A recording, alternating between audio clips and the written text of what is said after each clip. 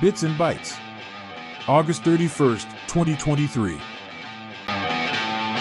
Ex Proud Boys organizer gets 17 year prison sentence.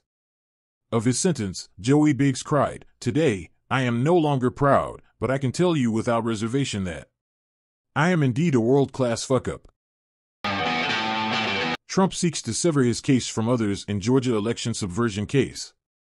Former President Trump said, How can I be expected to point the finger at others if I am tried with them? Separately, the New York Attorney General accused Trump of inflating his net worth by $2 billion. Mr. Trump said, The New York AG is a deranged, fascist, lunatic who leads the vast conspiracy against me if he thinks I would ever exaggerate anything. By the way, I've won yet another golf club championship. For some reason, I'm just a good golfer slash athlete.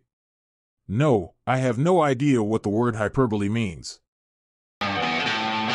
DeSantis reports significant damage from Hurricane Idalia.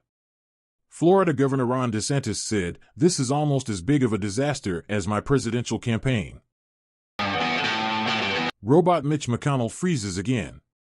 A staffer working for the Senate Minority Leader said, This is merely a glitch in the matrix.